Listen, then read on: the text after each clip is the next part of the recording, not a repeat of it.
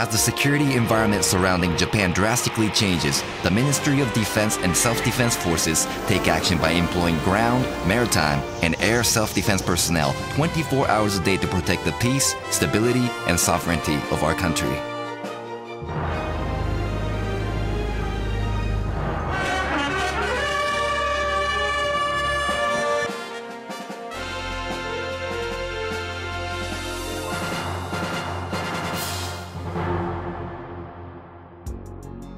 を取り巻く厳しい安全保障環境を踏まえ政府は平成25年12月に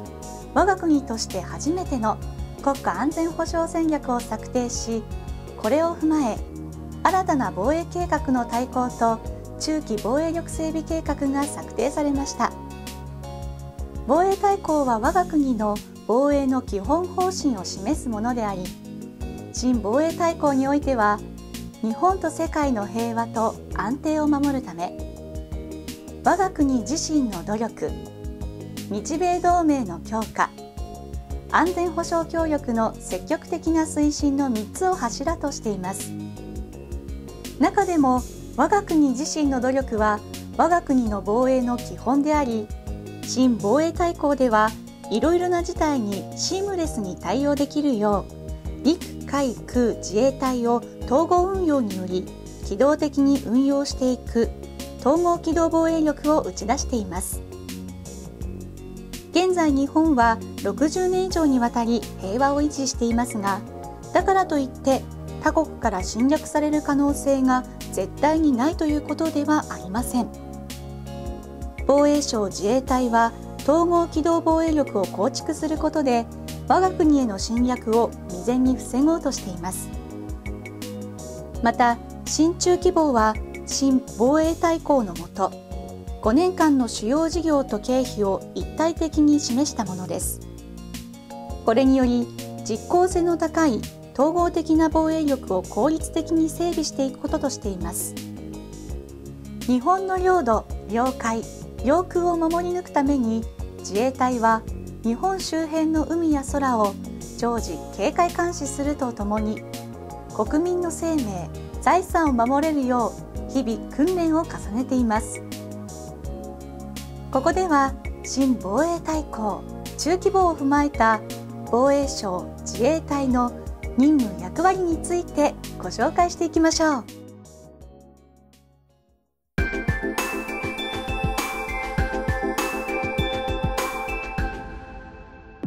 四方を海に囲まれ多くの島嶼を有するという地理的特性から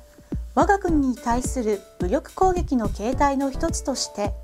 島嶼部に対する攻撃にも備える必要があります。こうした攻撃に対しては陸海空自衛隊が一体となって統合運用により対応することとしています。ここでは防衛省自衛隊の島嶼防衛についてご紹介します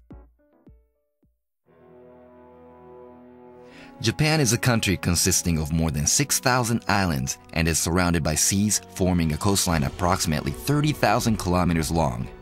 The range of territorial waters in EEZ adds up to approximately 4,470,000 square kilometers, which is the sixth largest in the world.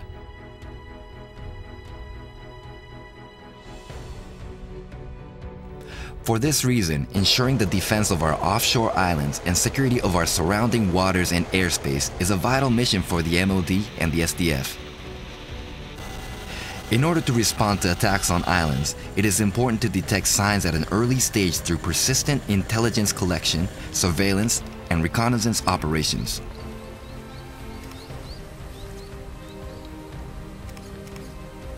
The MSDF consistently conducts surveillance activities of the waters surrounding Hokkaido,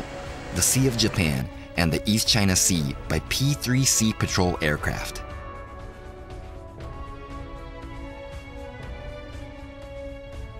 Also, GSDF coastal surveillance units and MSDF security posts conduct 24-hour surveillance activities in major sea straits.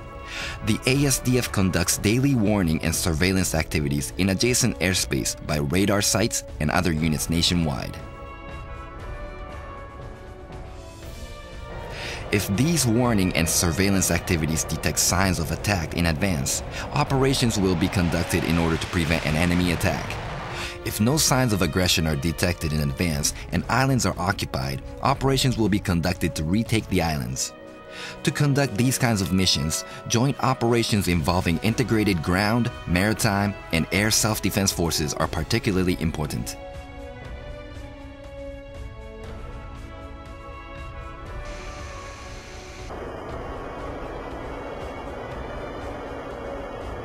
Such operations enable the SDF to swiftly deploy troops in cooperation with routinely pre deployed troops to mitigate and destroy enemy forces.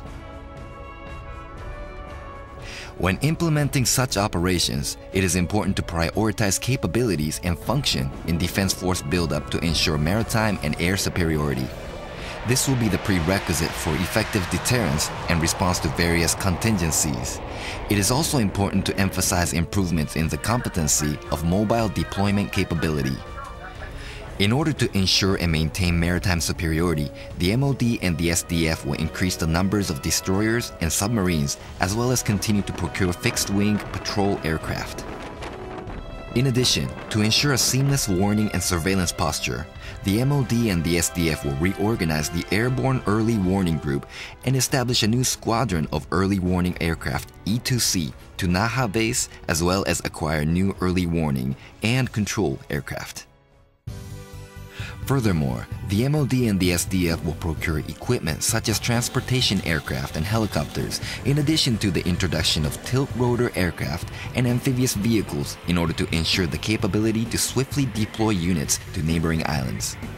Also, in order to swiftly respond to various situations, the MOD and the SDF will have divisions and brigades which have high mobility as well as establish a new unit which is in charge of initial response in southwestern islands and strengthen the posture. Furthermore, joint response exercises are conducted to enhance deterrence. Also, the MOD and the SDF will build up a complete amphibious capability in order to quickly land, recapture, and secure the island in case of invasion on remote islets. Specifically, the MOD and the SDF will establish an amphibious rapid deployment brigade based on GSDF Western Infantry Regiment in Sasebo, Nagasaki, which is consisted of several regiment scale units specialized in amphibious operations. Besides these efforts, the SDF is also actively involved in field training with US forces, which is aimed at developing capability, skills, and establishing mutual coordination procedures.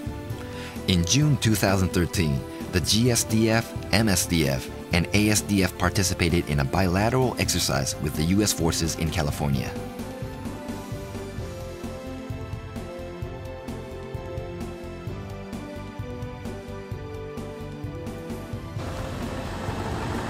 Now, let's take a moment to interview an officer from the GSDF Western Infantry Regiment about his mission and perspective regarding the defense of Japan's various islands. 特徴としては特にあの特定のエリアを設けることなく西方地域が抱える島であればどこでも出動できるというのが大きな特徴であります。我々の西部方面普通科連隊は特にあの当初ということでまずあのボートを用いまして島に上陸をしたり島から離脱をしたりという訓練はまず海を主体にやっております。その後特にあの上陸した後が重要になってきますので射撃やその後を守ったり攻めたりといったところが非常に難しくなってきますのでまたあの他の面では海外特にアメリカにおきまして、えー、恵まれた訓練環境の中でもこういった訓練を実施をしております。隊員にもも述べていることですが明日戦えるかではなく今戦えるかということで任務に対する自信とその技術能力これをみんなで身につけていこうと日々やっております。あのアウトドアが好きですのでキャンプ等で家族で出かけたりします。バーベキューとあとカレーと普通に作っております。息子はあの美味しいねと言ってくれますけど嫁は辛口で評価をしてくれます、はい、メリハリというのはキーワードとして日々やっておりますのでやるときはやる。休むときは休むという姿勢でやっております。新防衛大綱中期防では海上優勢航空優勢を確保することで島しょ部への侵略を阻止することとしており防衛省自衛隊は陸海空の統合運用体制のもと島しょ部への攻撃に備えています。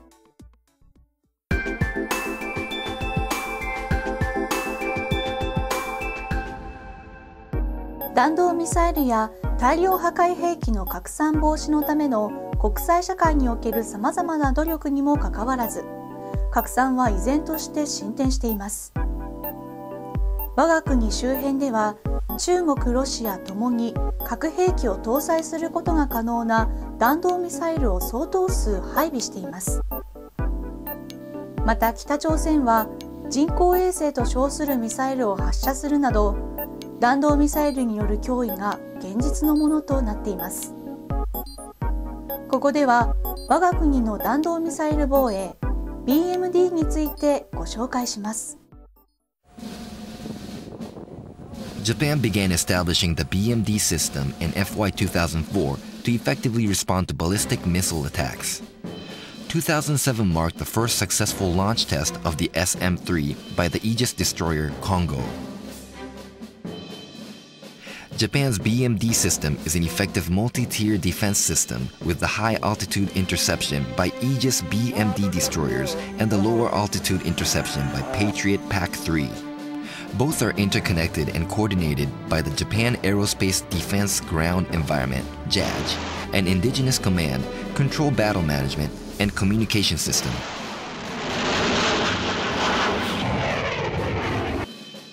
First, air warning and control radar detects and tracks missiles which might fall into our territories. Through the JADGE system, Information related to the missile is then transferred to the PAC 3 units and Aegis BMD destroyers. For missiles which might fall within our country, Aegis BMD conducts upper tier interceptions with SM 3, and the ground based Patriot system conducts lower tier interceptions with PAC 3.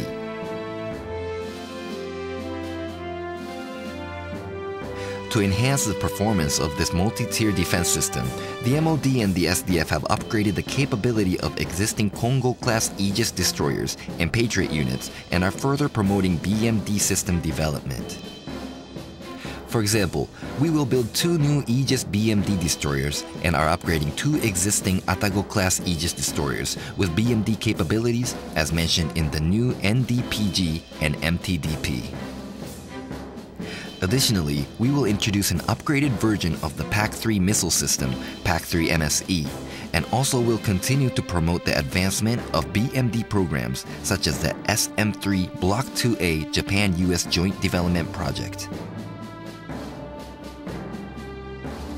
When responding to ballistic missiles flying toward Japan. In cases when Joint Task Force BMD is formed, the commander of the Air Defense Command serves as the commander of the task force, with appropriate defensive measures executed via unified command through JADGE.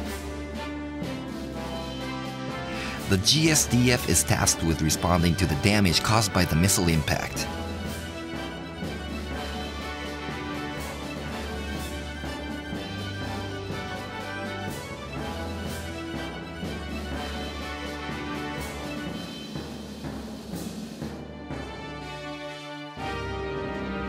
Let's ask an officer about his confidence in the ability to execute the ballistic missile defense mission. 高性能なレーダーを持っておりますのでそれで目標を捉えまして弾道ミサイル等に対応できる能力を持った船です。BMD に関しましてはこの船は日本に4隻しかおりません、えー、何か事象があった時には日本全体を守らないといけないとかいうことになります、まあ、そうしますと我々このイーズカンという BMD の能力を持った船に乗っているものとして非常に責任があると感じております。えーと、この船が BMD の能力を装備化された時にハワイに行きましてその BMD の能力を確認するための試験に従事してその他につきましては、えー、航空自衛隊と共同で訓練をしたりだとか、えー、米海軍と共同で訓練をしたりといった機会はあります。出航中はあまり休む暇がないといいますか3直で、えー、ローテーションで勤務をすることになります。まあ、そうしますと最大、まあ、6時間7時間ぐらいの次の直までは時間がありますがその間にでも次の訓練に対する準備だとか、えー、資料作成等がありますので、まあ、常に、えー、ある程度緊張した環境にはおります。ただまあ、えー、休暇中なんかにつきましては、まあ、家族のもとに帰って、えー、子供と会って子供と遊んだり、えーまあ、それが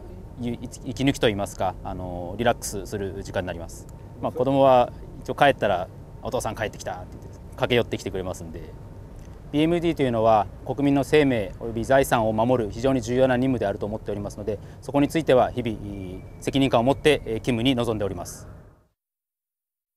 防衛省自衛隊は弾道ミサイル攻撃などいかなる事態においても国民の生命財産を守るべく関係省庁米国などと連携しつつ警戒監視をはじめとする BMD システムを駆使した体制をとっているのです。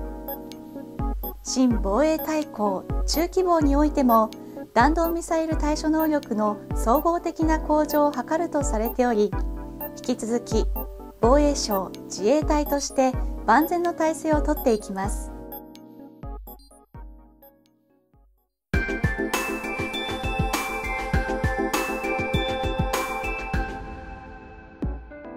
国際法上国家はその領空に対して完全かつ排他的な主権を有しています。対領空侵犯措置は公共の秩序を維持するための警察権の行使として行われるものであり陸上や海上とは異なってこの措置を実施できる能力を有するのは自衛隊のみであることから自衛隊法に基づき第一義的に航空自衛隊が対処していますここでは航空自衛隊の対領空侵犯措置についてご紹介します The ASDF conducts continuous 24 hour surveillance of Japan's territorial and adjacent airspace using 28 radar sites nationwide, E2C early warning aircraft, and E767 early warning and control aircraft. By utilizing radar and early warning and control aircraft, the ASDF detect and identifies aircraft flying in close proximity to Japan, and if any aircraft suspected of violating Japan's territorial airspace is detected, fighters scramble to intercept, confirm the situation, and monitor the aircraft as necessary. In the event that a territorial airspace intrusion does occur, the SDF issues a warning to withdraw from the airspace and forces the aircraft to land on a nearby airport if necessary. The ASDF is responsible for conducting these actions against intruding aircraft based on Article 84 of the SDF Act. Also, all of their actions comply with international law and practices, meaning that there are common activities accepted by all countries around the world in relation of their national security.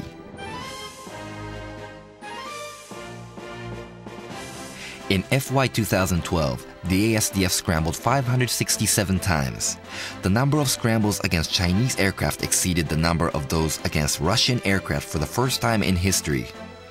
As of the end of December 2013, the total of 563 scrambles were greater than that of the previous year.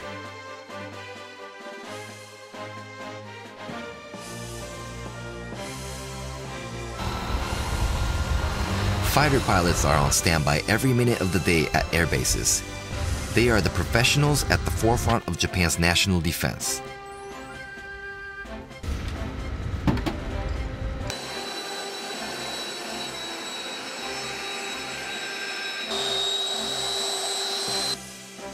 Pilots undertake these missions on a daily basis without regard to their personal safety or lives. まず戦闘機操縦者としての任務は大きく分けて3つあります。1つ目は日本の空を守る防空のための活動というものがあります。2つ目は対領空侵犯措置というものがありまして、まあ、領空侵犯機に対する措置を行っております。3つ目は陸上自衛隊や海上自衛隊に対する、まあ、空からの支援ということで任務を行っております戦闘機部隊に配置されてからはと、まあ、大きく分けて対領空侵犯措置のための訓練とあとは対戦闘機戦闘訓練というものを行っています。まあ、対戦闘機戦闘訓練というのは、まあ、万が一の時に、まあ、戦闘機と戦うための訓練ということで行っております。やはり精神的にもかなり、まあ、ずっと上空を飛んでるわけですのでそれで気を使いますし、まあ、肉体的にも、まあ、パイロットはまあ最大で 9G という、まあ、重力の9倍もの重力を受けてえ訓練を行っているわけですので具体的精神的にどちらも厳しい環境下で訓練を行っております。まず任務をする上で自覚しているのが戦闘機というのはそれ自体が強力な武器であるということです。ですので対領軍侵犯措置等の任務を受けた際にも、まあ、自分の行動一つが、